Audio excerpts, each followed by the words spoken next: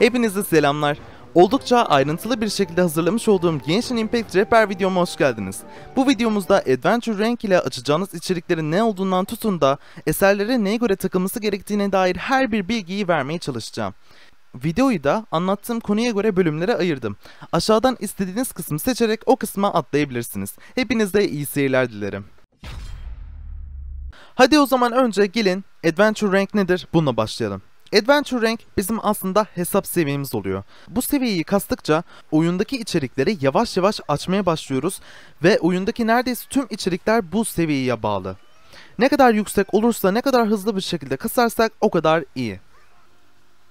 O zaman şimdi Adventure Rank nasıl kasılır ona değinelim ardından da içeriklerin açılmış olduğu Adventure Rank'lerin seviyesine değinelim. Adventure Rank'i kasmanın 10 yolu var. En temelinden başlayalım. Sandıklar. Etrafta görmüş olduğunuz sandıkları mutlaka açmaya özen gösterin. Bunlar bizim özellikle oyunun başında en iyi Adventure XP kasma yolumuz. Gerekirse etrafındaki yaratıkları alt edin, gerekirse etrafta görmüş olduğunuz challenge'ları tamamlayın, garip duran havuçları toplayın veya meşallere yakın bu sayede gizli sandıkları da elde edebilirsiniz ve Adventure XP kasabilirsiniz. Bu sandıkların farklı farklı seviyeleri de mevcut. Ne kadar yüksek seviyeli bir sandık açarsanız o kadar çok ödül kazanırsınız ve ayrıca bunlardan Primogem de elde edebilirsiniz. Gelelim ikinci yolumuza, maceracı kitabı. Maceracı kitabı oyunun başında ana görevde Kaya, Lisa ve Amber'ın domaini bitirdikten sonra Catherine ile beraber konuşmanızla bunu açabiliyorsunuz. Bunu açtıktan sonra ekranda da görmüş olduğunuz üzere buradaki basit görevleri tamamlıyorsunuz. Her bir basit görev başına Adventure XP alıyorsunuz. Ayrıca bu görev serisini tamamladıktan sonra büyük bir miktarda Primocam ödülü alıp görev serisine başlıyorsunuz. Üçüncü yol, ana görevler ve yan görevler.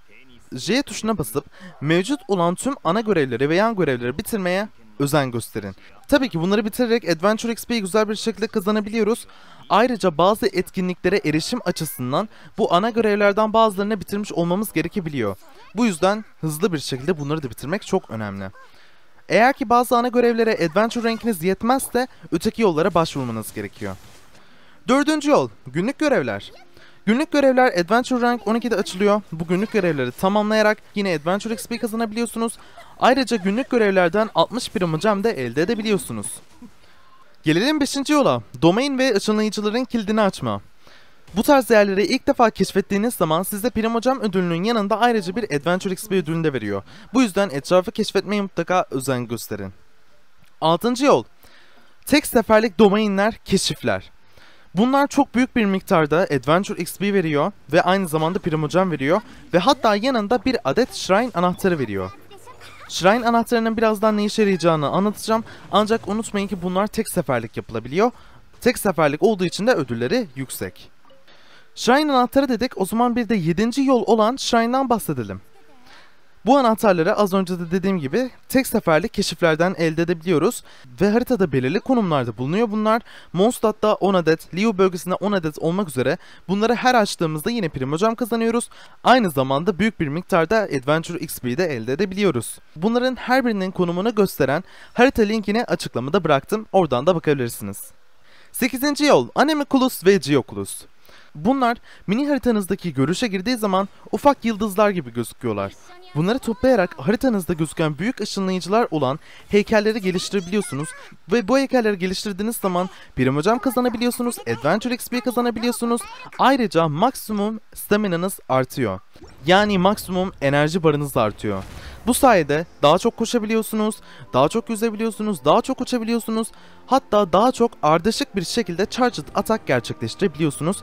Kesinlikle çok önemli bir özellik. Hatta şöyle bir öneri de vereyim. Adventure Rank 20'den sonra Animaculus ve Geoculus'ları toplamaya başlayın derim. Çünkü bazı ana görevler sizin bazı yerlere gitmenizi engelleyebilir. Tek bir seferde toplamaya başlayarak linkini bırakmış olduğum harita üzerinden işaretleyerek ilerlemenizde fayda var. 9. yol Restin harcama. Leyline olsun, domain olsun, boss olsun, yamaya özel bazı etkinlikler olsun. Bunlarda resin kullanabilmemiz mümkün. Resin kullanmadan bu ödülleri maalesef elde edemiyoruz. M tuşuna bastıktan sonra ekranın sağ üst tarafında mevcut olan resim durumunuzu öğrenebilirsiniz. Her 8 dakikada bir adet resim parçacığı kazanabiliyoruz. Ve şunu da belirtmek gerekiyor ki her 20 resim başına 100 Adventure XP kazanıyoruz. Eğer ki siz gidip bir haftalık boss keserseniz onun ödülünü alırken 60 resim harcayacaksınız. Yani bu da demek oluyor ki karşılığında 300 Adventure XP alacaksınız. Benim önerim oyuna girer girmez öncelikli olarak buna harcamaya çalışın ki bu zaten zamanla biriken bir şey olduğu için sınırına ulaştıktan sonra bir, daha da birikmeyeceği için bu resimleriniz boşa gitmesin. 10. ve son yol Vey. Öteki ismiyle beraber Unusual Hilly Rule. Bunlar haritanın 15 farklı konumunda bulunabiliyorlar. Bunları ise kendi dünyanızda 12 saatte maksimum 2 adet kesebiliyorsunuz. Vermiş olduğu Adventure XP miktarı o kadar yüksek değil. Ancak başarım açmak adına bunları avlayabilirsiniz. Bunun hakkında özel bir rotasyon videosu hazırlamıştım. Ekranda görmüş olduğunuz videoyu kanalımda aratarak bu rotasyon videosuna ulaşabilirsiniz ve konumlarını öğrenebilirsiniz. Adventure Rank'i nasıl kısacağımızı öğrendiğimize göre artık hangi seviyede hangi içerikleri açabileceğimizi de öğrenebiliriz. Adventure Rank 8 Leyline'ın XP versiyonu. Bu Leyline'dan tecrübe kitaplarını düşürebiliyoruz. Ayrıca resim harcayabileceğimiz ilk içeriğimiz bu. Adventure Rank 16 olana kadar resimlerinizi sadece buna harcayın. Adventure Rank 12 Günlük görevler ve Leyline'ın Mora versiyonu. Günlük görevlerin açılmasıyla beraber haritanızda rastgele 4 farklı görev konum belirecek. Bunları yaptıktan sonra Catherine'e dönerek ekstradan bir ödül alabiliyorsunuz. Günlük olarak toplamda 60 cam elde edebiliyorsunuz ve yanında büyük miktarda Adventure XP alabiliyorsunuz. Leyla'nın Mora versiyonu ise haritada sarı bir sembolle daire içerisinde gözüküyor. Bunu oyunun erken aşamalarında kasmanıza gerek yok. Çünkü oyun zaten görevleriyle birlikte, oyuna başlangıç ödülleriyle birlikte bol bol Mora veriyor zaten. Adventure Rank 14 Expeditions Bunu açtıktan sonra hemen Catherine'in yanına gitmeniz gerekiyor. Catherine'le konuştuktan sonra Expedition tuşuna bastıktan sonra karşınıza bir görev ekranı geliyor. Bu görev ekranında artık hangi malzemeye ihtiyacınız varsa karakterinize o görevi yolluyorsunuz ve yollamış olduğunuz karakter size gerekli malzemeleri belirlediğiniz sürede toplayıp geri getiriyor. Yollamış olduğunuz karakterler partinizde ise partinizden çıkmıyor veya kullanamaz hale gelmiyor. Rahatlıkla istediğiniz karakterlere bu görevleri yollayabilirsiniz. Bazı karakterler bazı bölgelerde daha da hızlı materyal toplayabiliyor. %25 kısaltılmış süreleri sahip olabiliyor. Örnek olarak Bennett, Fischl, Kitchen ve Chonyun'u verebiliriz.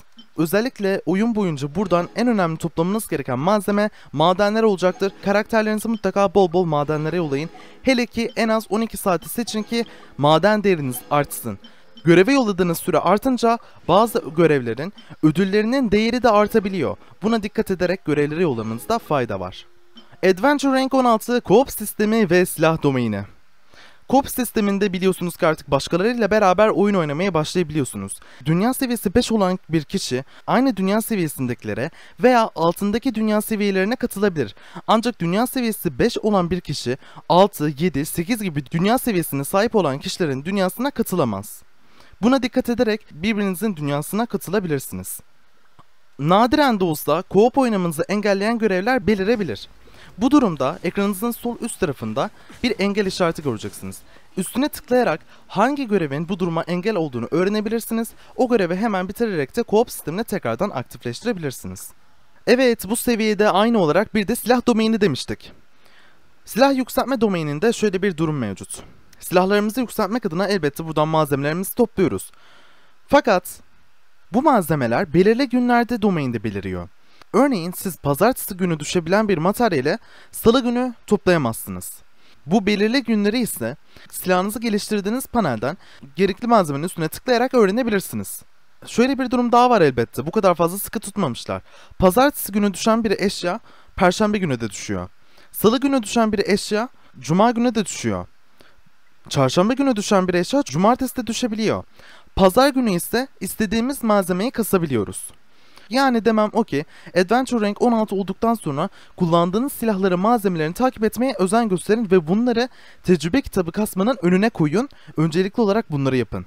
Adventure Rank 20 Spell Abyss ve Battle Pass'in açılışı Spell Abyss ile beraber bir arenaya giriş yapıyorsunuz. Bu arenada belirli şartlar mevcut, belirli bir süre sınırı mevcut. Eğer ki yeterince kısa sürede arenayı bitirebilirseniz 3 yıldız kazanıyorsunuz ve Spellabis'teki tüm kat ödüllerini toplamaya başlayabiliyorsunuz. Spellabis'imiz toplamda 12 kattan oluşuyor. İlk 8 kat yenilenmeyen katlar. Bunlardaki ödülleri tek sefer alabiliyorsunuz. 9, 10, 11 ve 12. kat yenilenebilir katlar. Ayın her birinde ve 16'sında bu katlar yenileniyor yani ödülleri tekrardan toplayabiliyoruz. Bol bol primocam ödülü mevcut. Ayrıca ücretsiz karakter olan Shining'i de 3. katı tamamlayarak elde edebilirsiniz. Battle Pass'ten bahsetmiştik şimdi onu değinelim. Bunun açılmasıyla beraber Battle Pass'e özel olarak günlük, haftalık ve kendi içeriğine özel olarak bazı görevler geliyor. Bu görevleri bitirdikçe puanları topluyoruz ve puanlarla her burada seviye atladığımızda üst kısımda gözüken ödülleri toplayabiliyoruz.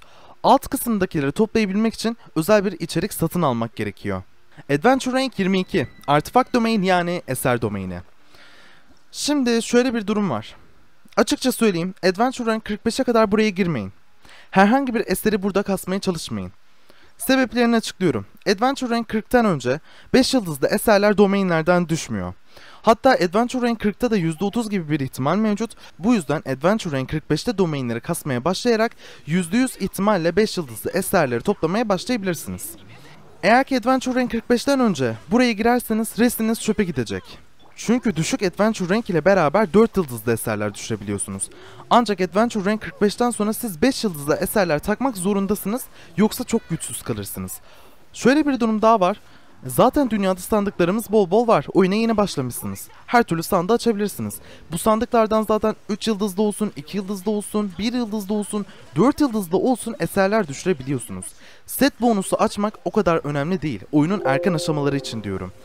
Adventure rankiniz ne zaman 45'e geçerse o zaman karakterlerinizdeki eserlere yoğunlaşmaya başlamanız gerekiyor. O zaman eserlerin set bonuslarını açmanız gerekiyor. Videonun ilerleyen zamanlarında da erken aşamada nasıl eserler takılmalı diye anlattım. Oraya da bir göz atabilirsiniz. Eğer ki siz Adventure Rank 45 üzerindeyseniz sağ üstteki kartı tıklayarak da karakter rehber videolarımın bulunduğu oynatma listesine ulaşabilirsiniz. Adventure Rank 25 Reputation yani saygınlık sistemi. Bu sistemin açılmasıyla beraber haftalık görevler yaparak Mondstadt'ta ve Liu'da saygınlık kasıyorsunuz. Görevi hangi bölgeden almışsınız Bölgenin puanı sadece oraya işliyor. Mondstadt'ta alırsanız Mondstadt'taki saygınlığınız artar. Liu'da alırsanız Liu'daki saygınlığınız artar. Bu saygınlıklara kasarak şöyle içerikler açabiliyorsunuz. Sandıkları kolayca bulmanızı sağlayan bir alet. Taşıyabileceğiniz bir ışınlayıcı. Tek bir tuşla kullanabileceğiniz yemek çantası. Ücretsiz kanatlar gibi birçok içeriğe sahip bunlar. Öncelikli olarak Mondstadt'taki saygınlığınızı arttırmanızı, en son olarak da Leo bölgesindeki saygınlığınızı arttırmanızı öneririm.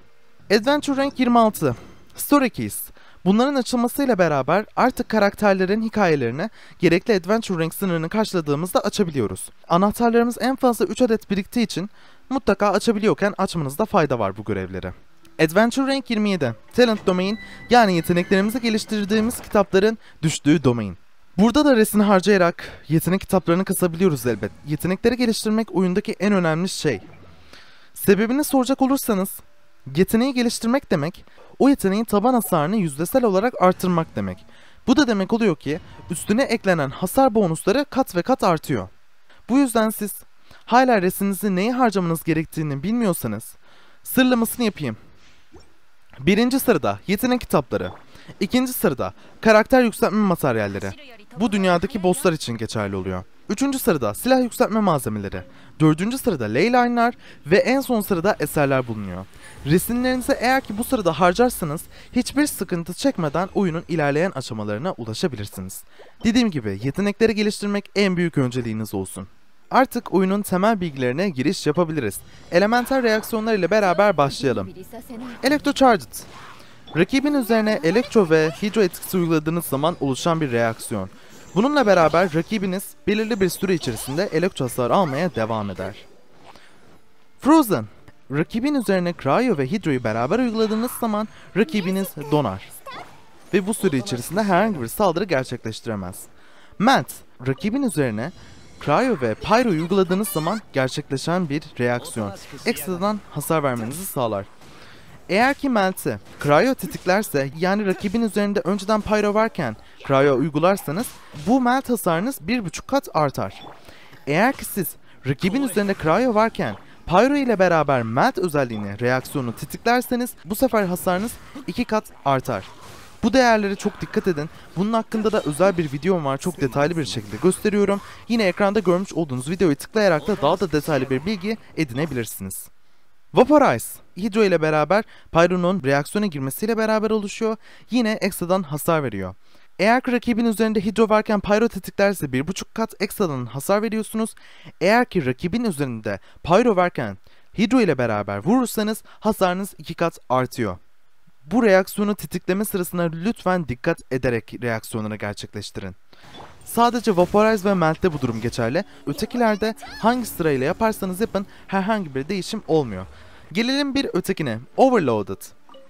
Rakibin üzerine Elektro ve Pyro'yu beraber uyguladığınız zaman rakip alan saldırısı olacak bir şekilde Pyro hasarı alır. Süper Conduct'a gelelim. Cryo ile beraber Elektro'nun uygulanmasıyla oluşuyor. Rakibe ekstradan bir cryo hasarı veriyor. Ayrıca rakibin fiziksel direncini düşürüyor. Bu sayede fiziksel hasara oynayan main DPS'lerinizi ön plana çıkarabilirsiniz. Burning Burning durumu sadece Pyro ile Dendro'nun beraber etkileşime girmesiyle beraber oluyor. Oyunda şu anda Dendro elementine sahip olan bir karakterimiz yok. Ancak Dendro elementine sahip bir yaratığımız var, Dendro Slime. Bu Dendro Slime'ların üzerine siz Pyro etkisi uygularsanız rakibimiz yanmaya başlıyor ve belirli bir süre içerisinde ekstradan Pyro hasarı alıyor. Gelelim Geo ile beraber Anemo'nun reaksiyonlarına.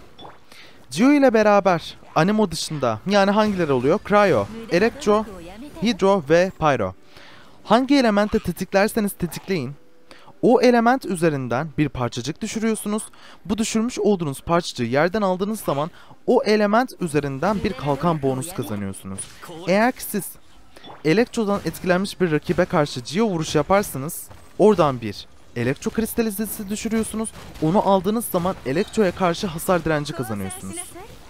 Kristalizenin olayı bu. Şimdi bunun Anemo versiyonuna geçelim. Hangi elementle tetiklerseniz tetikleyin. Burada da Geo dışında. Sivir uyguladığınız zaman ekstradan bir elemental hasar veriyor ve o element etkisini etrafındaki rakipleri dağıtıyor. Eğer ki siz hidro etkisi altında olan bir rakibe karşı sivir uygularsanız yakınındaki rakiplerin üzerinde de hidro etkisi oluşur. Bu sayede toplu bir reaksiyon gerçekleştirebilirsiniz. Elemental reaksiyonlarımız şimdilik bu kadar. Şimdi bir de elemental resonansa yani takım özelliklerine değinelim. İki elementi bir takımda kullandığımızda ne gibi özellikler açabiliyoruz? Siz bir takımınızda iki adet Geo karakter kullandığınız zaman Enduring Rock özelliği açılıyor. Bu özelliğimiz sayesinde kalkan gücünüz %15 artıyor. Ekstradan eğer ki karakteriniz bir kalkan tarafından korunuyorsa hasarı doğrudan %15 artıyor. Ayrıca rakiplere hasar vermek rakiplerin Geo direncini %20 azaltıyor ve bu durum 15 saniye boyunca etkisini sürdürüyor. İki Pyro koyduğunuz zaman Fervent Flames özelliği açılıyor. Cryo'dan %40 daha az süreyle etkileniyorsunuz ve tüm partinin ata %25 oranında artıyor. Shooting Waters İki hidro karakteri beraber bir takımda kullandığınız zaman açılıyor. Pyro'dan etkilenme süreniz %40 daha da fazla kısalıyor. Ayrıca gelen iyileştirme %30 artıyor. Impetuous Winds İki Anemo karakteri beraber bir takıma koyduğunuz zaman açılıyor. Stamina harcama bedeliniz %15 azalıyor. Hareket hızınız %10 artıyor. Aynı zamanda yeteneklerin bekleme süresini %5 kısaltıyor. High Voltage İki elektro aynı takıma koyduğunuz zaman açılan bir parti özelliği Hidro'dan etkilenme süresini %40 kısaltıyor. Ayrıca elektro tabanlı elemental reaksiyonları gerçekleştirdiğiniz zaman elektro elemental parçacığı düşürüyorsunuz. 5 saniyede bir bu durum tetikleniyor. Elektro element parçacığı ile beraber elektro karakterleriniz çok daha hızlı bir şekilde enerji yeniliyor. Çok daha seri bir şekilde ultilerini kullanabiliyorlar.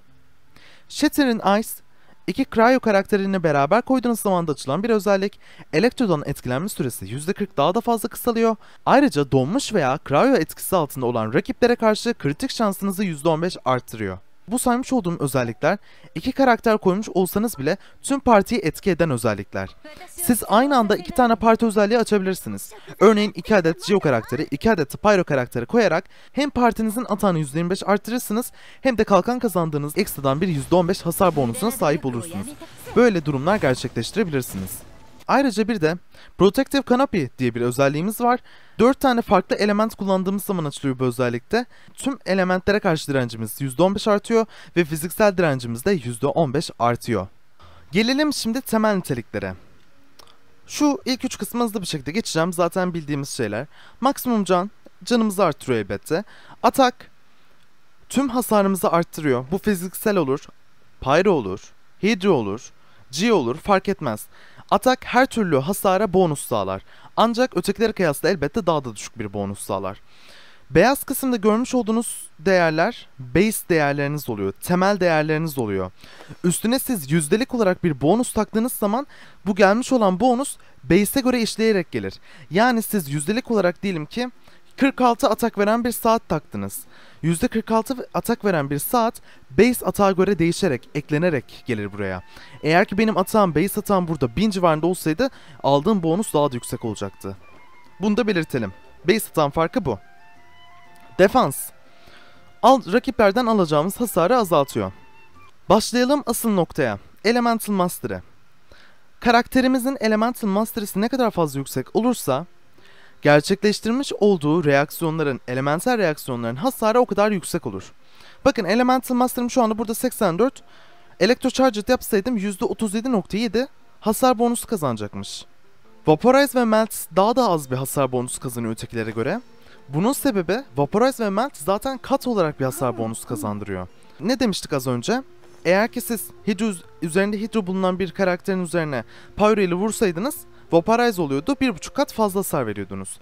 Ya da tam tersini yapsaydınız bu sefer iki kat fazla hasar verecektiniz Hydro karakterinizle beraber.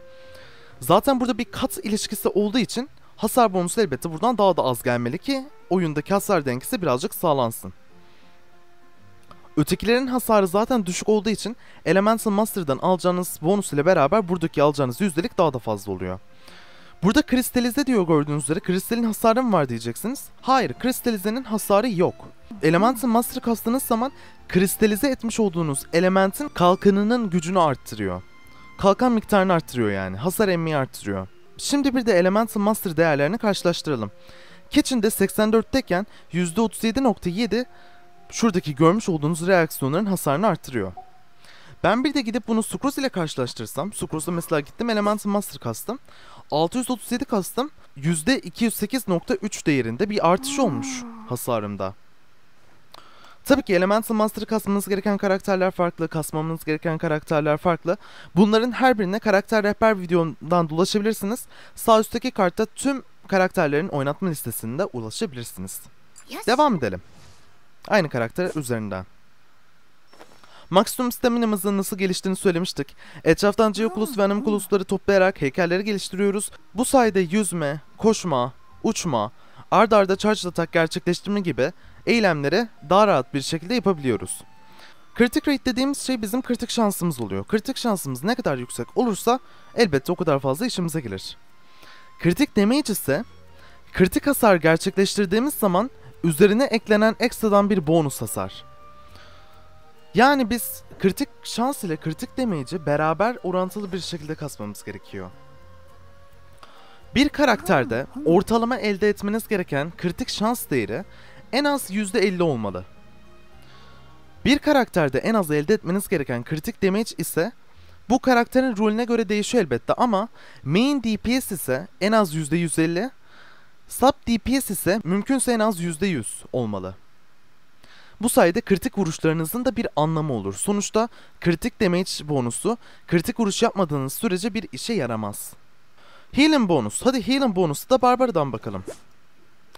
Healing bonus niteliğiyle beraber dostlarımızı daha rahat bir şekilde, daha çok bir şekilde iyileştirebiliyoruz. Incoming healing bonusun şöyle bir olayı var. Gelen iyileştirmeyi artırıyoruz. Gelen iyileştirme ile beraber basmış olduğumuz iyileştirme farklı şeyler. Eğer ki biz burada gelen iyileştirmeyi artırırsak kendi üzerimize bir iyileştirme etkisi uygulandığı zaman daha da fazla can kazanıyoruz. Enerji recharge. Enerji recharge'ın olayı daha rahat bir şekilde enerji parçacıkları toplayabiliyoruz savaşlardan. Bu da demek oluyor ki ultimizin barını daha hızlı bir şekilde doldurup daha sık bir şekilde ulti kullanabiliyoruz.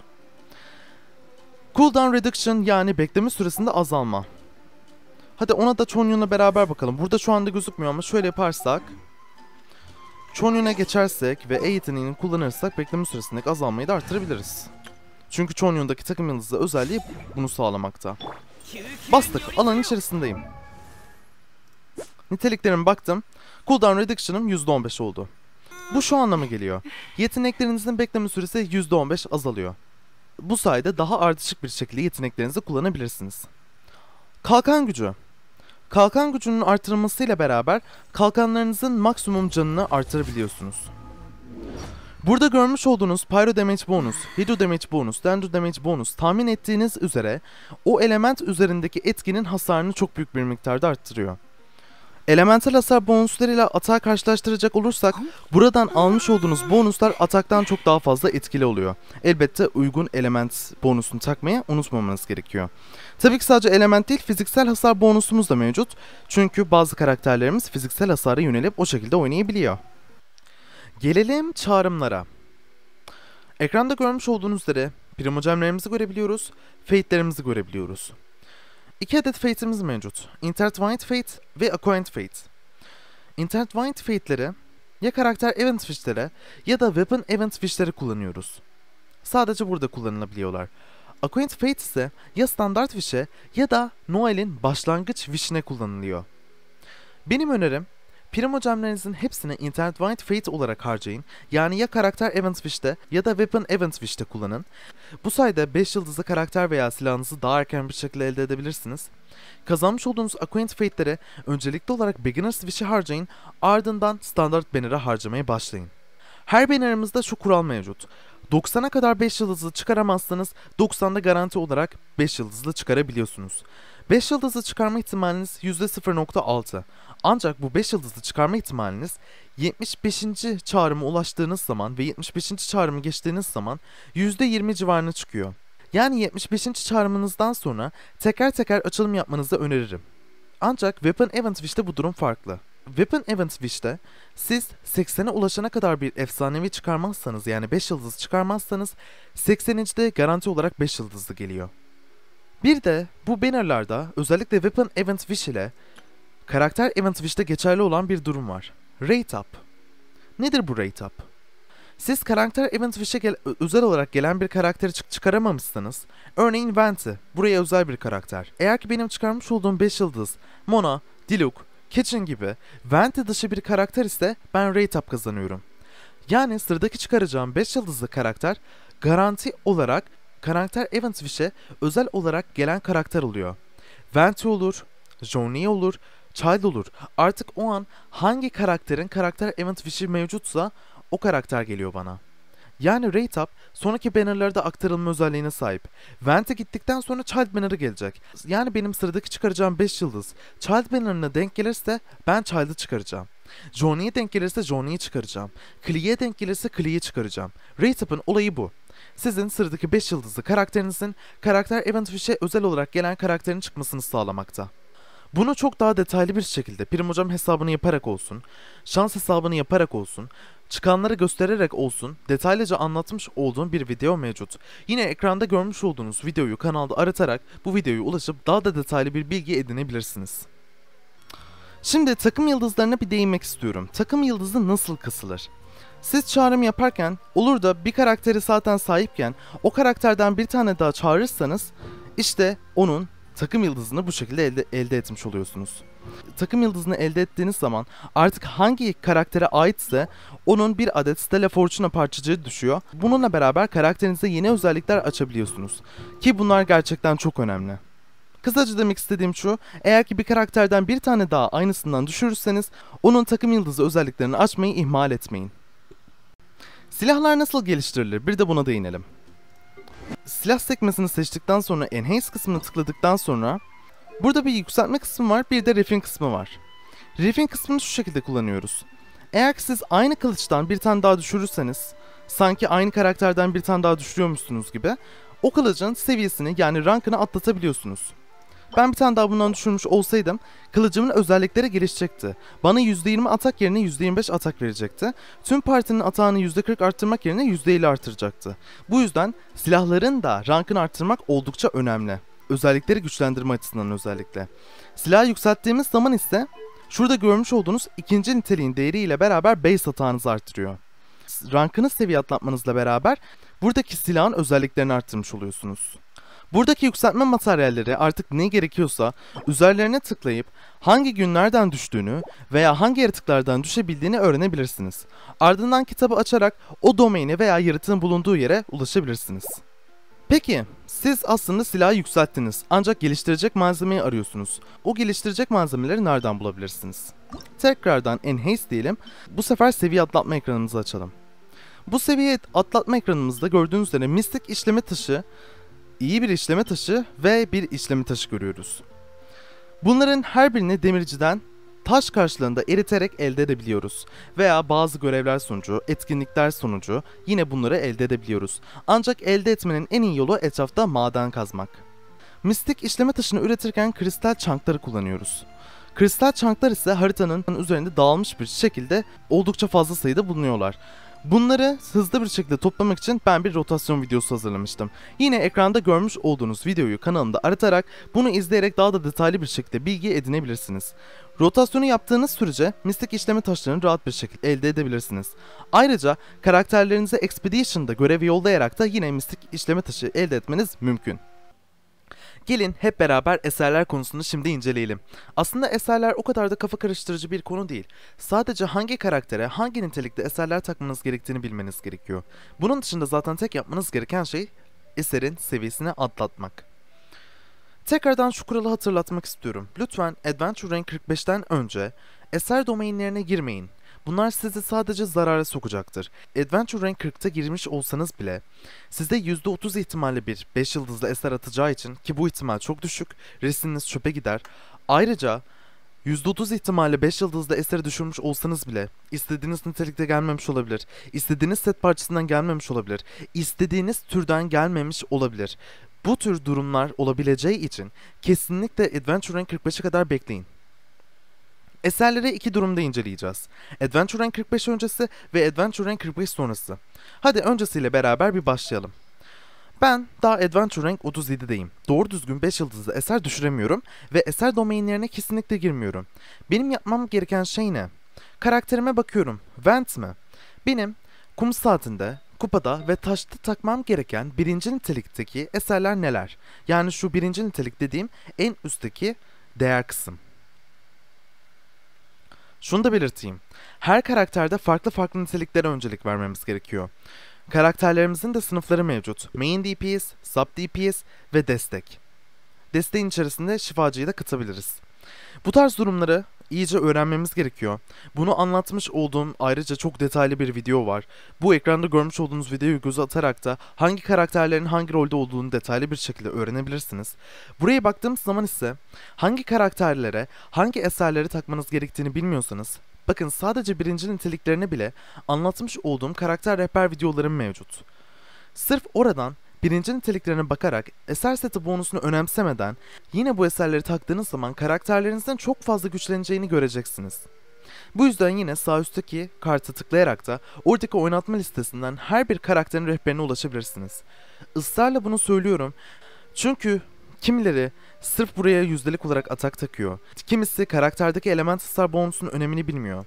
Kimisi kritik damage veya kritik rate'in önemini bilmiyor. Bunların önemini her bir karakterde ayrı ayrı detaylı bir şekilde anlatıyorum. Şimdi Adventure Rank 45 öncesi bir karakterde Venti'ye örnek vermeye başlamıştık. Benim Vent'te kullanmış olduğum yaya göre ben kum saatinde Elemental Master'ı, kupada Anemo Damage bonus ve touch kısmında yüzdelik olarak atak takmalıyım. Elemental Master sayesinde reaksiyonlarımın hasarı güçleniyor. Yüzdelik olarak atak sayesinde reaksiyonlarımın yine taban hasarı artıyor. Anemo Damage bonus sayesinde E ve ultimin taban hasarı artıyor. Bu sayede Venti'yi ben güçlü hale getirmiş oluyorum. Çiçek ve tüyde Birinci nitelikler hiçbir zaman değişmediği için, çiçekte her zaman can, tüyde her zaman atak olduğu için ikinci niteliklere bakıyorum. İkinci nitelikler şurada görmüş olduğunuz değerler. Maksimum 4 adet ikinci nitelik bulunabilir bir eserde ve bu 4 adette en az 2 tanesinin bize uygun olup olmadığını öğrenmemiz gerekiyor. Venti'de kritik şans ve yüzdelik olarak atak gayet uygun. Bu yüzden ben gittim Venti'ye bu çiçeği taktım. Alt niteliklerine bakarak. Tüyde yine alt niteliklere bakarak kritik şans, kritik damage ve enerji charge hatta elemental master'ı bu 4 değerde benim için çok önemli. Bu yüzden ben bu tüyü rahatlıkla takıp geliştirebilirim. Kum saatinde de yine aynı şekilde Elemental Mastery birinci nitelik olarak bakıyorum ama ikinci niteliklerine bakmam da çok önemli. Enerji yenileme ve kritik damage burada beraber bulunuyor. Bunu kullanabilirim. Bu tarz eser incelemeleri yaparak karakterinize en uygun eserleri takmış olmanız gerekiyor. Bakın, hiçbir şekilde eser bonusu açıyor muyum, açmıyor muyum acaba diye önemsemedim. Eser seti bonusuna bakmaksızın ben bunu yanlışlıkla açtım mesela. Ancak işime yarıyor mu? Yine de işime yarıyor bu özellik. Şimdi bir de eserlerin maksimum seviyesinden bahsetmek istiyorum. 1 yıldızda eserler maksimum 4. seviyeye kadar çıkıyor, 2 yıldızda eserler maksimum 8. seviyeye kadar çıkıyor, 3 yıldızlar 12. seviyeye, 4 yıldızlar 16. seviye ve 5 yıldızda eserler maksimum 20. seviyeye kadar ulaşabiliyorlar. Elbette eserlerin size gerçekten çok uygun olduğunu düşünüyorsanız maksimum seviyeye çıkarmaktan çekinmeyin. Zaten uzun bir süre boyunca o eserleri kullanacaksınız. Peki gelelim Adventure Rank 45'i geçmiş olan birisi nelere dikkat etmeli? Gördüğünüz üzere artık set bonusuna önem veriyorum. 2 adet set bonusu açtım ve uygun olanları takmaya özen gösterdim. Bununla da kalmadım. Eserlerimi 20. seviyeye bastım. En uygun 1. nitelikte ve 2. niteliklerde en uygun olanları taktım. Dediğim gibi benim için en önemli iki niteliği alt niteliklerde de arıyorum. Kritik damage ve kritik şans. Kitchen için oldukça önemli. Karakterim sürekli olarak elektro hasar verdiği için ben elektro damage bonus taktım. Eğer ki siz fiziksel hasar veren bir kılıç takmış olsaydınız buraya fiziksel damage bonus takacaktınız. Yine alt niteliklere baktığım zaman benim işimi gayet iyi gördüğü için bu eseri de takmaktan çekinmedim. Taç kısmında şöyle bir yol izledim. Baktım benim kritik şansım %20 civarında. O zaman benim ne yapmam gerekiyor? Taç kısmına crit rate takarak benim kritik şansımı arttırmış olmam gerekiyor ki kazanmış olduğum kritik damage bonusu bir işe yarasın. Tüyde ve çiçek kısmında da yine alt niteliklere özen gösterdim. Karakterler, bu şekilde karakterlerinize uygun olan eserleri takarak karakterlerinize maksimum potansiyeline ulaştırabilirsiniz. Örneğin Hutao, can üzerinden atak kazanan bir karakter olduğu için buraya yüzdelik olarak atak yerine yüzdelik olarak can taktım. Yine kritik şansım birazcık az kaldığı için buraya yüzdelik kritik şans taktım. Neden? Çünkü karakterim yükseltildiği zaman hem kritik damage kazanıyor hem de silahından yüzdelik olarak kritik damage bonus kazanıyorum. Bu sayede rahatlıkla kritik şansı yönelebilirim ve kritik şansı yönelmemle beraber kritik şansımı %64 civarında tuttum ve kritik damage'imi de %216'ya çıkarmış oldum. Oldukça güzel. Daha da fazla geliştirebilir miyim? Evet. Bunun için daha da kaliteli eserlere ihtiyacım var. Hepiniz izlediğiniz için teşekkür ederim. Oldukça uzun ve detaylı bir video oldu. Lütfen beğenmeyi ve abone olmayı unutmayın. Sıradaki videolarda görüşmek üzere. Sağlıcakla kalın.